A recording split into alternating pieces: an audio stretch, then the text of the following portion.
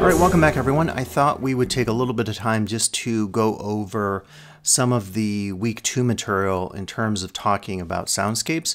So, I think one of the things that you probably have discovered in looking at some of the media and doing some of the readings is that this is a pretty new and innovative area in terms of looking at sound and looking at music. And one of my reflections from being a music major back in the day is that, you know, very often we don't talk about sound around us. We don't talk about ambient sound. And uh, it reminds me a little bit of the work of John Cage, the famous experimental composer who wrote a famous piece called 4 Minutes and 33 Seconds that we'll probably look at in our uh, week that we talk about experimental music. But one of the things about that piece is that it's uh, 4 minutes and 33 seconds of sitting at the piano, not playing a single note and it really offers opportunities to listen very carefully and critically at the sound in a concert hall or wherever that piece is being performed. So I think one of the things that sound mapping and looking at soundscapes allows us to do is to really more critically understand our sonic and musical worlds around us.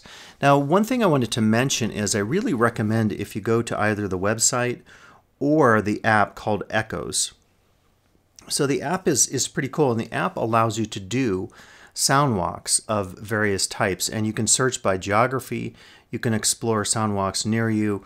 And these are narrated tales, if you will, that have audio and sonic components.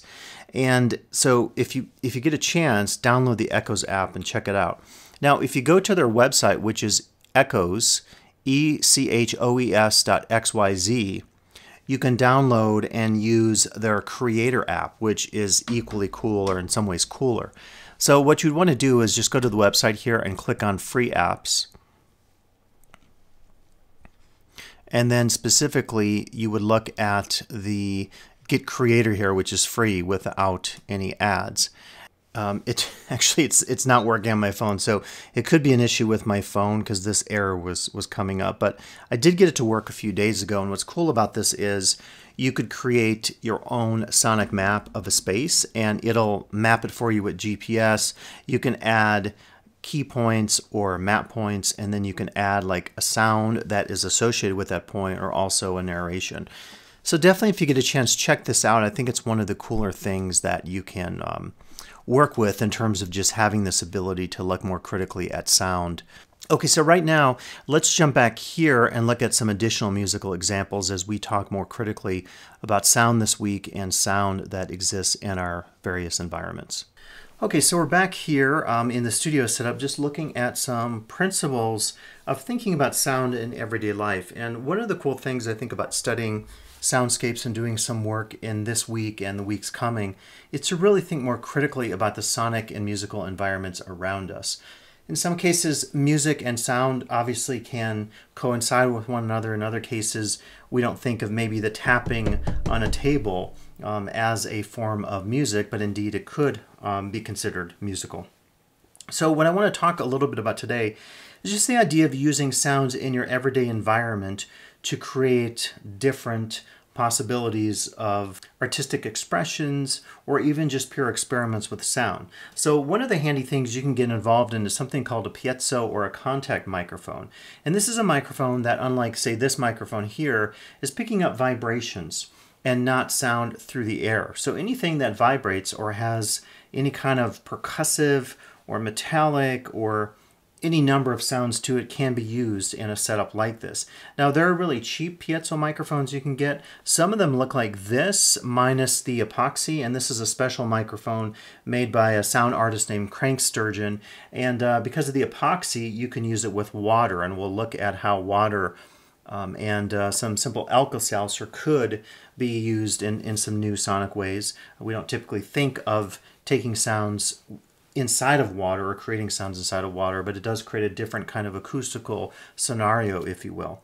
So this is one of the more expensive contact microphones made by Zeppelin Design Labs called the Cortado MK3.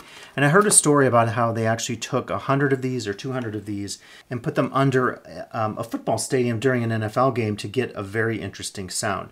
So again, this is going to amplify anything that has a vibration to it. I could use it, say, with a kalimba, and I'm actually not monitoring the sound right now, so we'll see how this actually does sound, just because I'm not entirely sure what it's going to sound like.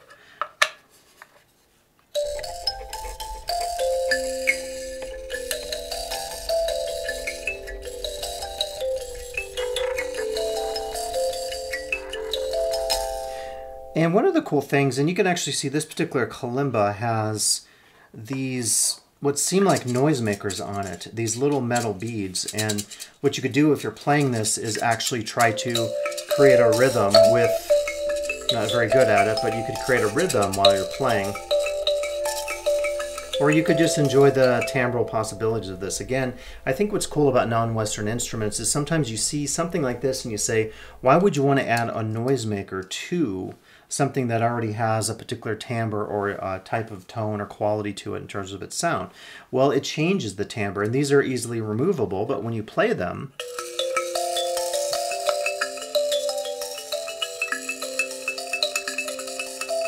you can see that it, it just creates a different sonic experience. And so if you're thinking about in the future maybe building an instrument for your final project, you could take inspiration from everyday real instruments like this kalimba or mbira and uh, think about how something like buzzers on the tines or the keys of a kalimba have that possibility to really take your sound and your performance in a different direction.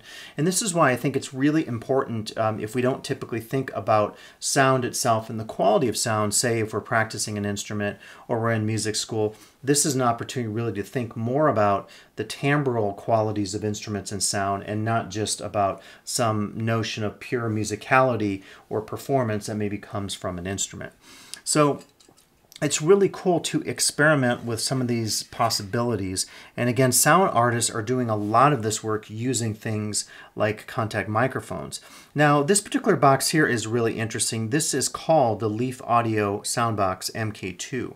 And what this is, it's basically a piezo microphone on acid. It's basically giving you this particular device to be able to amplify your sound, but it's adding to it a lot of gain adjustment. One of the challenges of this type of music or sound experiment is sometimes you have to really crank your preamp or really crank your gain on your mixer or whatever you're using to amplify your sound. This does it for you with these gain adjustments. And you could play both on the box directly and plug in an external microphone like I'm doing with this particular sound microphone here. And to give you a sense of what, what this is really all about, let's go ahead and just add an Alka-Seltzer tablet to this water. Again, the fizzing is going to then be picked up through these vibrations in this water piezo or contact microphone. And one of the things I want to point out this week is that if you're doing this kind of work, it may remind you of what folks in the movie industry called Foley work.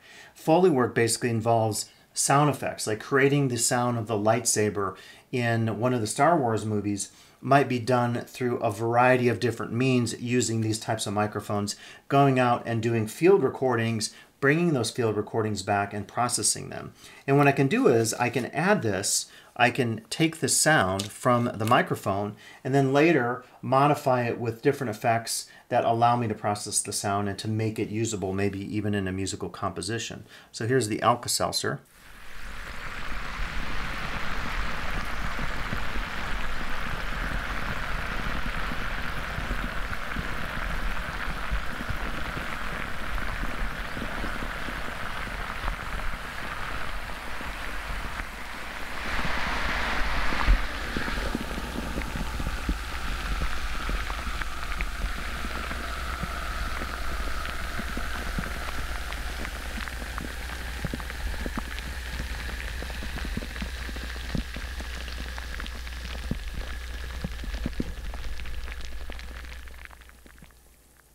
Okay, so you get the idea of that. And again, it's an opportunity to really think about how you can use sounds in your everyday environment in some new ways. You may have never thought of using Alka-Seltzer before as a, a possible sonic um, exploration of, of the world around you.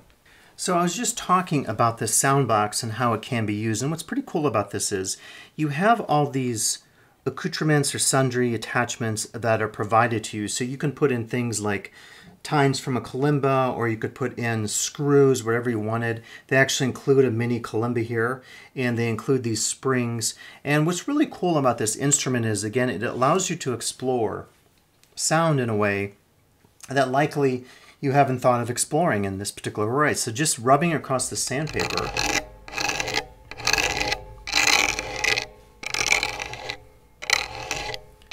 creates a particular sonic moment. And what you could start to do is really convey like almost emotions or qualities to the sensory experience here of working with the sound. If you rub sandpaper, you think about kind of how the senses combine. You could think then if you're touching it, it feels rough. Does that sound, the auditory experience, correspond with your touch feeling or experience?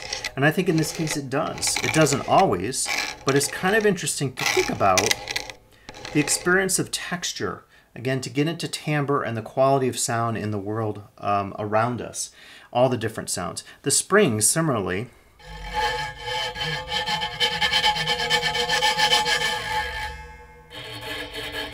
each has a different quality to it and possible use. Scraping is a possibility, as is hitting it as a percussion instrument.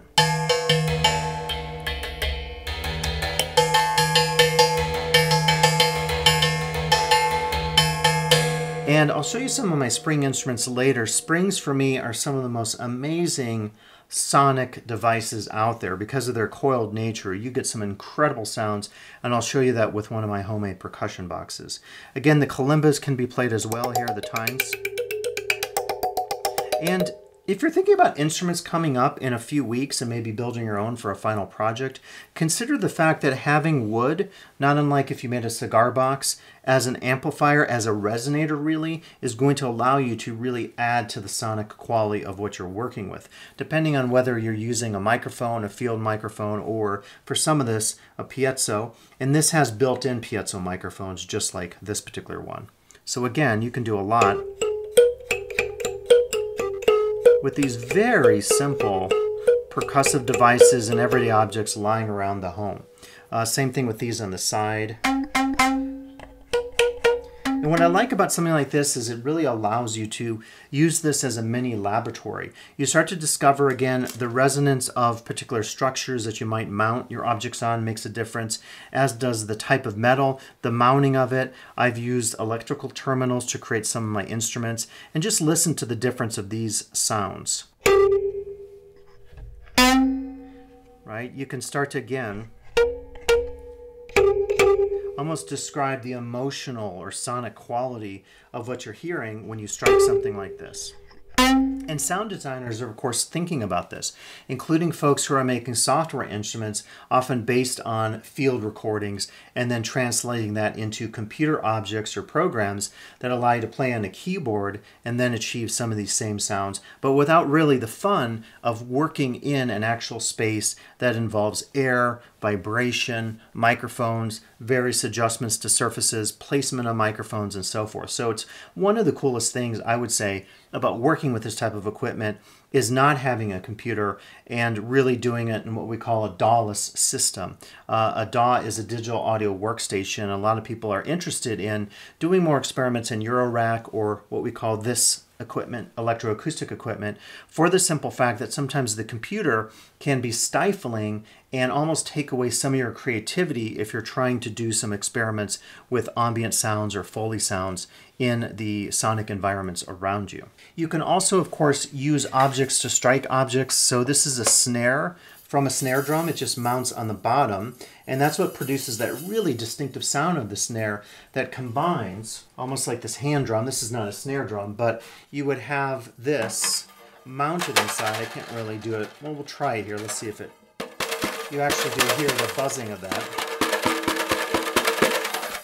And so uh, this is something that's appropriated or reused from another instrument or a snare drum. So I can take this and because of the movement of these, they're almost like tines, but they're wires and they get tangled around and inside of each other.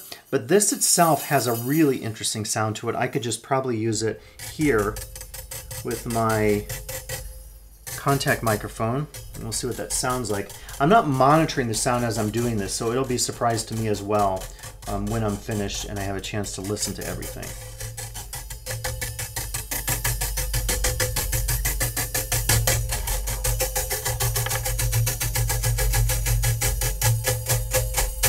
And then I can take it and strike it on these surfaces. And you see that the combination of these five tines and also these wires create a pretty interesting sonic palette to work with.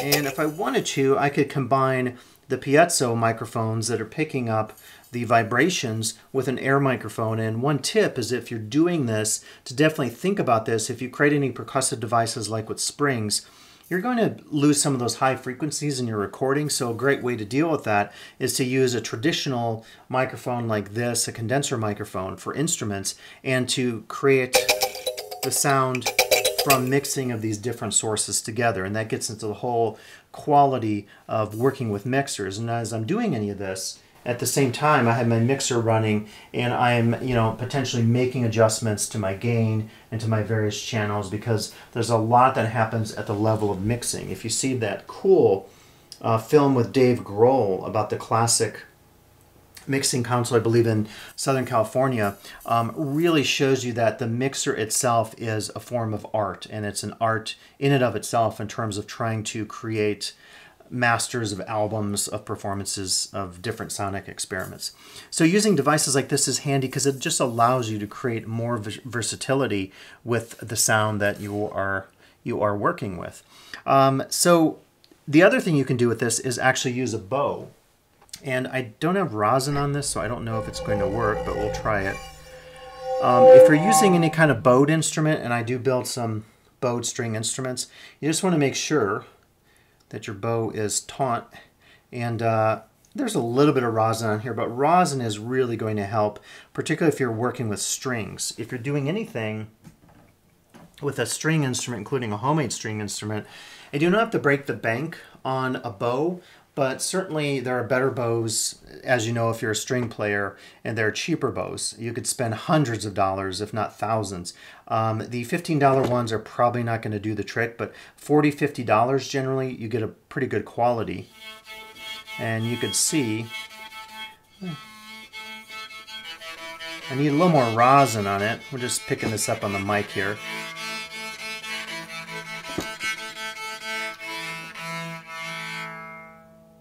And again, really start to appreciate how different objects are interacting in space at the same time. So what is it about a bow that has a surface that when coming into contact with strings, and these are, I believe, these are metal strings, so you would get a different effect with other types of strings. But just think about how revolutionary string instruments are in terms of the bow. And you don't probably think of this when you hear a symphony orchestra playing simultaneously, you know, 50 or more string players. But um, really amazing, again, to think about how objects combined create all these sonic and musical potentials. So if I'm going to use this in a more experimental way here, again, I could take my bow and let's just see what this sounds like. We'll find out later. But this is, I'm hearing a little bit of that.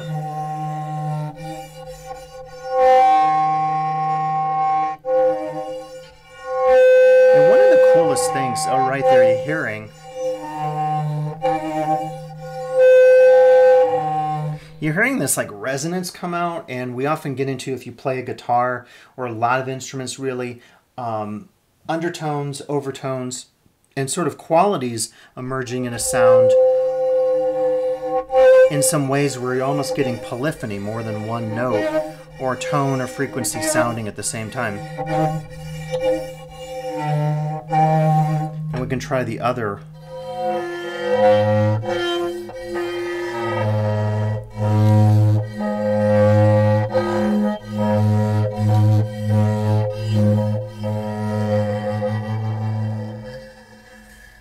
Really wonderful. It sounds great. I'll be wanting to hear what it sounds like later. But again, a bow, just think about what an instrument is. It's, it's the sum of its parts, really, if you think about it. Now, this particular instrument, again, the MK to Soundbox is an experimental sonic instrument. These used to be sold as kits by a company in the UK, and now they're only sold as complete objects. And indeed, there's a lot of circuitry inside here that allows you to really get a clean signal than you typically wouldn't get from cheap uh, $10 piezo contact microphones. The amplification the gain stage adjustments that allow you to take sounds that typically don't have a lot of resonance or amplification to them is what also makes this box really wonderful in so many ways. So one of the things that might be cool for some of you if you want to do a project, you can do something based on field recordings and you can actually use your phone pretty decent. You can also use one of these, which is a Zoom and Tascam and other companies make them. They are pretty good sound recorders that record everything to an SD card and you can adjust the gain, which is really important. You sometimes can't do so much of that on your phone. So that's why a device like this, which isn't super expensive, might be handy for you if you're thinking about a project with sound recording. The cool thing about the sounds in our everyday environment is we can amplify them and begin to understand sort of new impressions of our worlds because we don't typically listen carefully to the sounds around us. So again, I could take a toy, like this toy guitar, it's a, literally a dollar store guitar, and I can amplify it in different ways. This is using the Cortado microphone, and I could do the same with the sound box.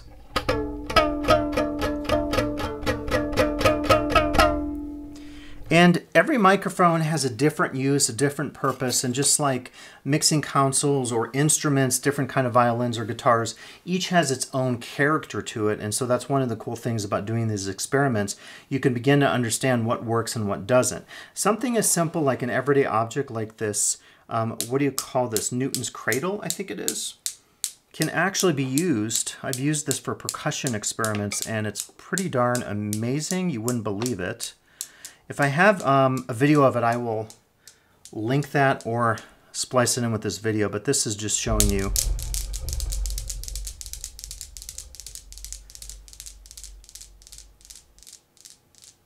what you might be getting into. So again, an everyday object around the house that is turned into a sonic device, an instrument, whatever you might want to call it. You can also take a music box, which again is going to work through vibrations.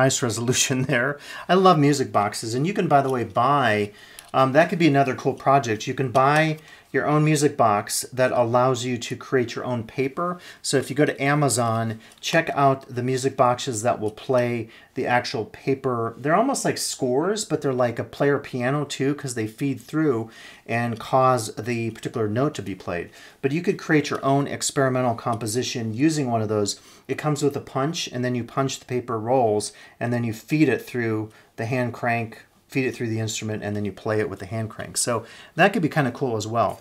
Um, a thing I've worked with in the past to really great and surprising success are these uh, kitchen timers, which allow me to create some interesting rhythmic percussive things. So if you hear it on its own,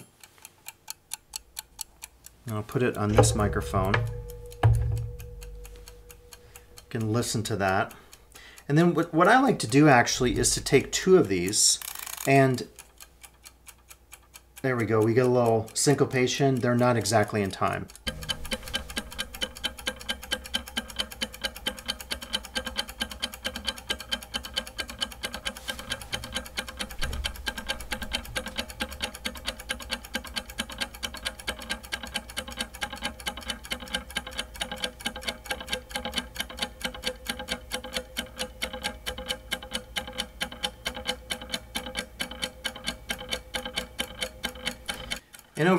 You can see because these aren't precise, we're starting to get less syncopation, sort of sort of phases in and out, and that's what I really like about using something like these kitchen timers because you can do some rhythmic things that you couldn't plan on your own. It reminds me a little bit of Stephen Reich, the experimental minimalist composer, his uh, clapping piece, where he's really experimenting with uh, phases of trying to bring in different rhythms. And our mind and its perception of rhythm it is very interesting just to consider as, as another conceptual issue. And there's also this, this principle of synchronicity where metronomes will eventually over time come in sync with one another which could be another cool project that you could think about. So if you're dying for projects there are a lot out there. And again every uh, everyday objects like kitchen timers really can lead you in some interesting sonic directions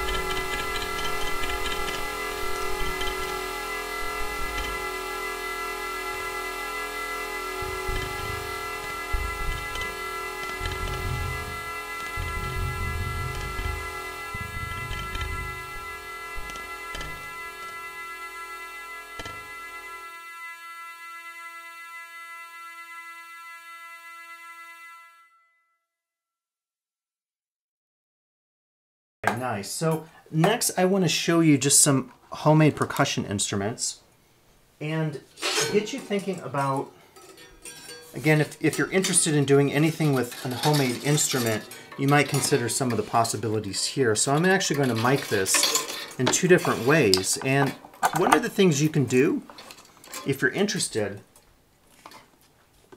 let's try to get that in frame so you can actually see it. Um, you can get your own set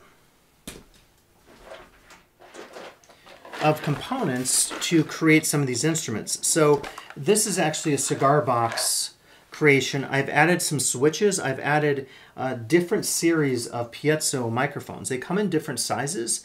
These are going to give you a little richer sound I found than the smaller ones, which sometimes come pre-wired, which is pretty handy. And it's a very simple operation. If you're halfway decent with the soldering gun, you just have to take two wires. You're going to put one solder it to the outside, the other one to the inside, and just make sure you don't have overlap. So one here and one there. And the red versus uh, black, if you have two different color wires, doesn't matter at all. And then what you'd simply do is get one of these audio jacks. This is a standard quarter inch jack, and you're just going to solder then those two wires and you could even do this with electrical tape. It won't be as solid a connection. Just going to solder these two wires to your quarter inch jack and then you insert that in here and then that allows you to take it out and amplify it. Now again, the sound sometimes is not as great I've discovered as the sound coming out of here because we have really clean components.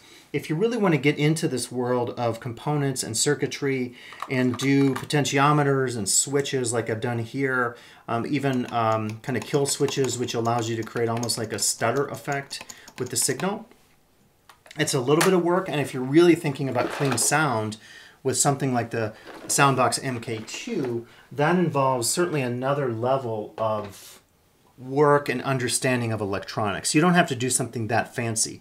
Now, what I would also recommend to you is if you're getting into working with microphones that maybe you don't know how to attach, you can always use something like a clamp because having a real solid surface or connection here that isn't allowing the microphone to bounce around while you're playing could make a huge difference. So I'm just going to clamp this using a cheap uh, box store clamp, and then when I play on this, um, it's, it's going to be a lot better for me because this is not going to be bouncing around. And I tend to use things like uh, skewers for um, kebabs or whatever, or these are wooden dowels you can get at a craft store or at a box store.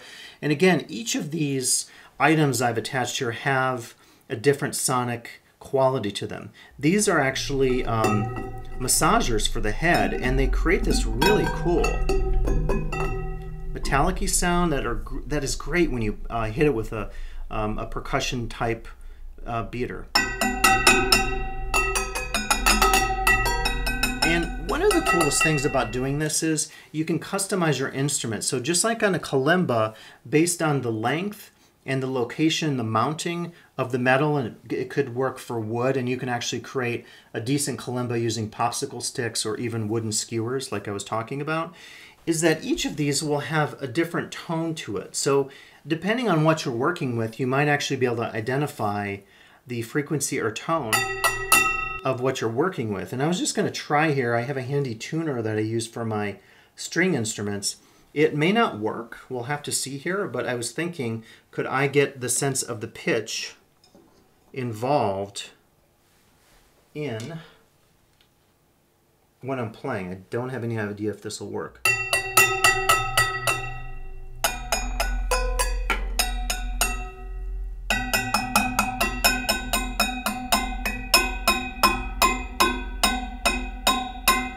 So that's showing a C and also a B. And probably what's going on here is when I'm striking one of these tines or metal rods, it's vibrating another. So, you know, the best way to do this would be able to, and it might be hard to do, is to mute the rest of these and then strike it. You're thinking about tuning your head scratchers. You probably never thought of this. I've certainly never thought of it. So that's showing like a B flat. And I can actually compare that, play that along with a string instrument or a keyboard and see if that sounds approximately like a B flat. I'm suggesting this is because you can use everyday objects like back scratchers. This is a, um, uh, a mixer, a beater, a hand mixer for uh, whipping eggs and stuff. And again, you could, if you wanted to, think about even tuning some of the instruments that you've created. And these tuners are really accurate and fairly cheap. You can find them on Amazon. And again, they clamp on to a surface. And as long as you're getting um, sound being produced through that device, through like a resonator, then you're probably going to be able to tune whatever it is that you're working with. So what I like about this instrument, it allows me to do a lot of different things. And before I had the MK2 Soundbox, I sort of stole their idea and I took a pad from one of my sanders and put it here so I can create scraping sounds that are actually in some ways much harsher than the one on the actual MK2 Soundbox. And let's see if the stutter effect works. I don't know this particular box, I had some issues when I wired it, and so I'm wondering if uh, this won't work. We'll just try it and see. And of course, as I'm hitting this, I'm getting some vibration from my fingers. So ideally, this would be external to the box, and I could hit it like that and create the stutter effect while I'm doing it. But in any case, it's another possibility there. So each of these, again, has a different sonic quality. These are a lot duller. These ring out almost like miniature chimes. They just have that really nice sound. And you're seeing these are moving, so we're also taking advantage of vibration and resonance, again, going through this cigar box. So in a real use of this, you would uh, attach um, you know, your neck to this and strings, and you'd have a, a, basically a cigar box guitar, and you would also have that piezo hooked up. I also have a spring on here as well, so we can use it as a straight and also percussion. In this one you can hear much more, has more resonance and depth to it and a much lower pitch. It sounds just absolutely phenomenal just in the air and again I could take this, amplify it, affect it, and have some amazing sonic potentials. I can also hook all of this up to what's called an envelope follower. So that's a device on my Eurorack that will basically take any percussive signal from one of my microphone sources and translate that into a gate sound. So as I'm hitting this, it's translating each of those beats, and then those beats can be playing one of my synthesizer modular units, and thus I could create this kind of sonic environment where I'm actually combining the acoustic performance with the electric, and that's why we call it the electroacoustic experience. This is also kind of cool. I got this idea, and I'll show you maybe on the instrument week the bigger version of this. I call it Sonic Force, the bigger version. But it's basically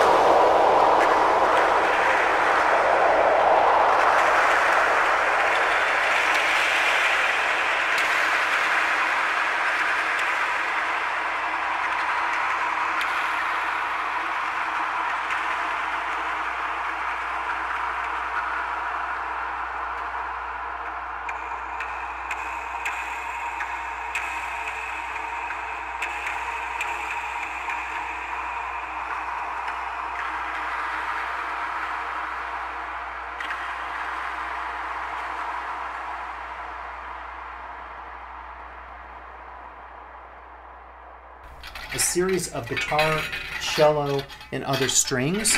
And what I like doing with this is sometimes hooking it up to a motor or a device that's going to create on its own movement. And then it'll do something like this.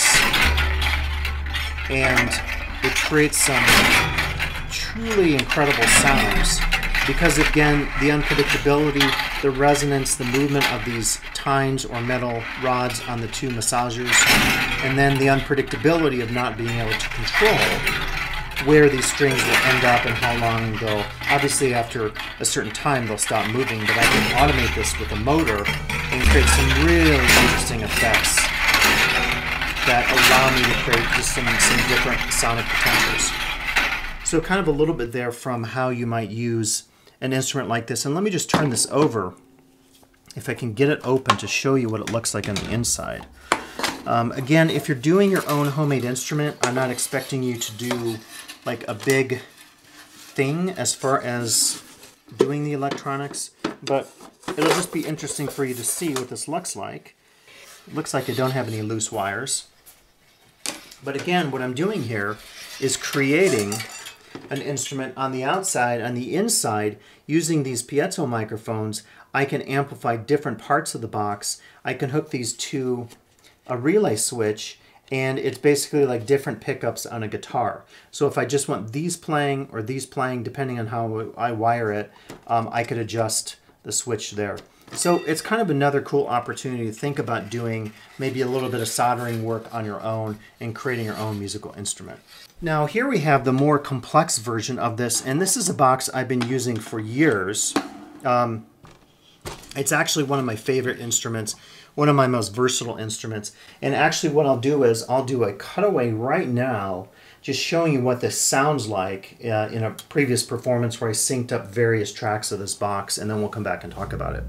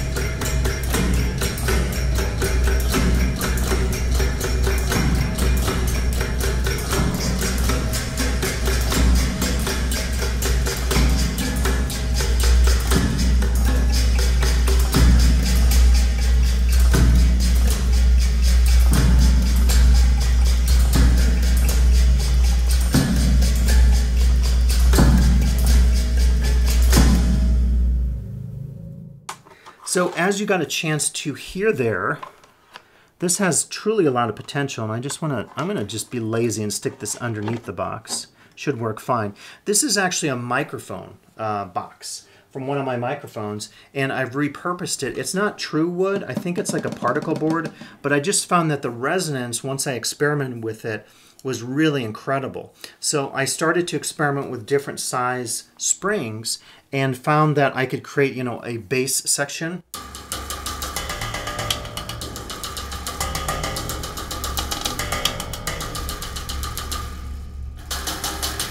And what you can do is, and I have a break there, a little bend, but um, it's, it's holding. You can experiment with size of spring. You could experiment with the tension, the way you mount it using these different, like these two inch long bolts um, or screws with, with the uh, nuts.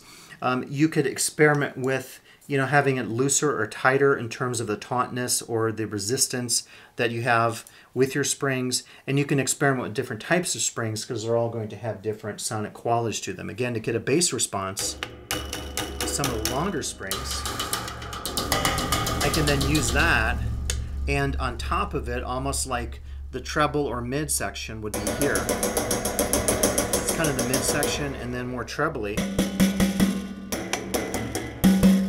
And what I like to do is, not unlike the kalimba we talked about with the buzzers, is I like to sometimes have that very ringy and noisy sound by putting nuts on the top of some of these um, structures here, these these uh, spring structures, because you create a little more noise there. You can also attach things like uh, bobby pins and paper clips to create your own mini kalimbas.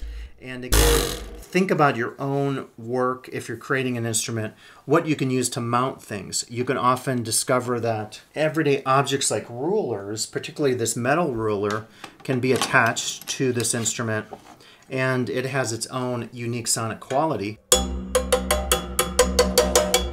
you're hearing all that resonance through the instrument.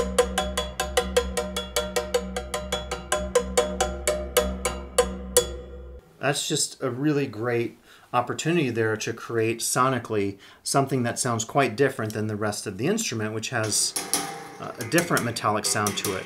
You can also put washers on here, almost like these would be ride cymbals or hi-hats on a drum set, on a trap set. And you can do things like use these uh, door stoppers to create almost more like a sound effect.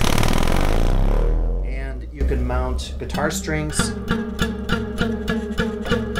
cello strings using really simple, I just get dulcimer pegs and they're really easy to work with. They have a hole. You put your guitar string there and you can mount the second one using one of those or anything like this and just wrap it around and then you tighten it with a screwdriver or if you're fancy you'd get a dulcimer uh, tuning device that would allow you to tune it in the way that you want. But again this is very easy to do.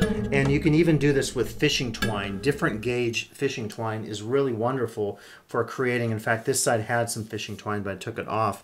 It's really wonderful for creating instruments on the fly that could be combination percussion and string instruments. And so as you heard in that performance, I can really do quite a bit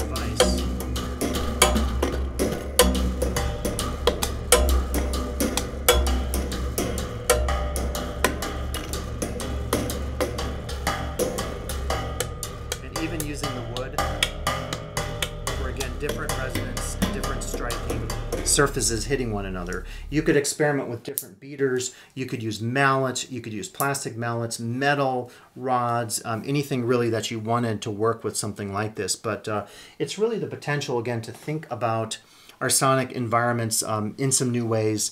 And so hopefully get a chance just to think about some of these potentials as you're maybe working on projects in the future or as you're working through these next couple weeks where we're talking about soundscapes we're talking about instruments, qualities of sound, and also qualities of audio as well. So a lot to think about. I wanted to give you just a brief demo here looking at some of the setup and hopefully it will inspire you to either think about sound and music or to produce sound and music and potentially help you out with your future projects coming up. So thanks for listening. I'll be back with another video shortly.